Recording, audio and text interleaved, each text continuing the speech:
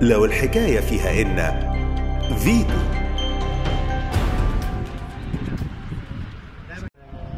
أنا أنا أتمنى عايز حضرتك تسجل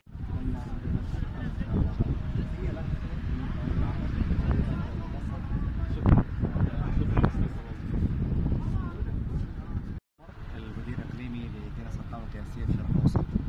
آه، بدايه جدا سعيد وجودي معكم اليوم في القاهره في مصر بحضور تسجيل آه، رقم قياسي لعرض جسر معلق أو جسر منجم آه، في العالم. آه، بدايه المناقشات بدأت مع آه، فريق المقاولين العرب مما يقرب العامين.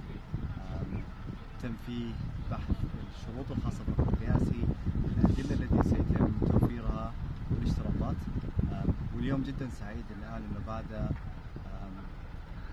بعد النظر في جميع الأدلة اللي تم تقديمها واستيفاء الشروط آه، يسعدني بالنيابه عن كنيسه الرقم القياسيه اعلن إن رقم القياس السابق المسجل في كندا 65.2 آه، من 10